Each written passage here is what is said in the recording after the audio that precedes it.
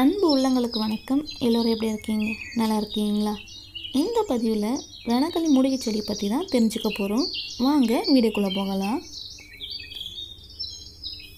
ரணக்கலி என்ன அர்த்தம்னு பார்த்தீங்கன்னா ரணம் என்றால் பொன் கள்ளி என்றால் இதுவும் ஒரு கள்ளி செடி வகையை சார்ந்தது தான்.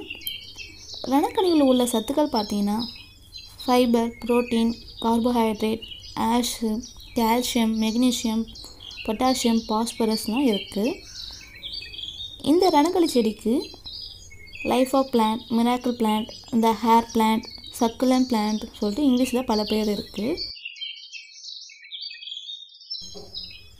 இந்த செடி வளர்ப்பு முறை பார்த்திங்கன்னா ரொம்பவே ஈஸி இந்த இலையை கிள்ளி போட்டாலே முளைச்சி வந்துடும் அதனால தான் தமிழில் இதற்கு இன்னொரு பேர் இருக்குது கட்டி போட்டால் குட்டி போடணும் இந்த இலை ஷேப் பார்த்தீங்கனாலே வளைவு வளைவாக இருக்கும். இந்த வளைவிலிருந்து தான் முளைச்சி வரும். இதற்கு வந்து தண்ணீர் ஊற்றணும் அவசியம் இல்லை. காற்றில் இருக்கும் ஈரப்பதம் வந்து உறிஞ்சி வளர்ந்து வரும்.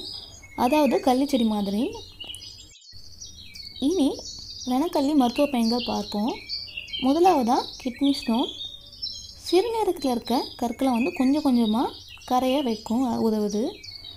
ரணக்களி இலையை வந்து மூன்று இலையை மூன்று வேளை மூன்று நாள் சாப்பிட்டு போதும். கற்கள் வந்து கரைந்து வந்துடும் ரெண்டாவதாக கர்ப்பப்பை பிரச்சனை. ரணக்களி வந்து வெறும் வயிற்றுலேயே சாப்பிடலாம். இல்லை ஜூஸாக வந்து மூணு நாள் சாப்பிட்டு வந்தாலே கர்ப்பப்பையில் வரக்கூடிய வீக்கம் கல் எல்லாமே வந்து சரியாகிடும். மூணாவதாக சைனஸ் அப்புறம் சளி. ரணக்களி வந்து வச்சுட்டு டீ போட்டு குடித்து வந்தால் சளி இரும்பல் மூக்கடைப்பு சைனஸ் ஆஸ்துமா போன்ற பிரச்சனை வந்து சரி செய்வது நாலாவதாக தலைமுடி. ரணக்களி இலையை வந்து சார முடியில் தடவிட்டு வந்தாலே நரமுடி செம்மட்ட முடியெலாம் வந்து கருப்பாகும். அடுத்ததாக ஹேர் ரூட் வந்து ஹெல்த்தியாக வச்சுக்க உதவுது. ஐந்தாவது டயபெட்டிக்ஸ் ரணக்களியை வந்து வெறும் வயிற்றில் டயபெட்டிக்ஸ் வந்து சாப்பிட்டு வந்தால் பிளட்டில் உள்ள சுகர் லெவல் வந்து கண்ட்ரோலாக வச்சுக்க உதவுது. ஆறாவதாக காயம் இல்லை புண்ணு.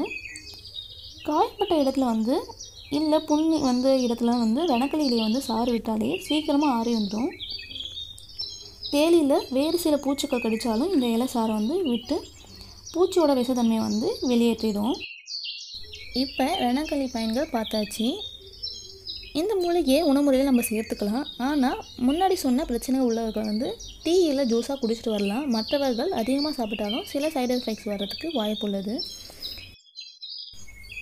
இந்த செடி ஒரு ஆர்னமெண்ட் பிளான்ட் மாதிரி தான் இருக்குது அதனால் இந்த செடியை வந்து இன்டோர் பிளான்ட்டாகவும் வளர்க்கலாம். இதற்கு அதிகமாக தண்ணீரும் தேவை அவசியம் இல்லை.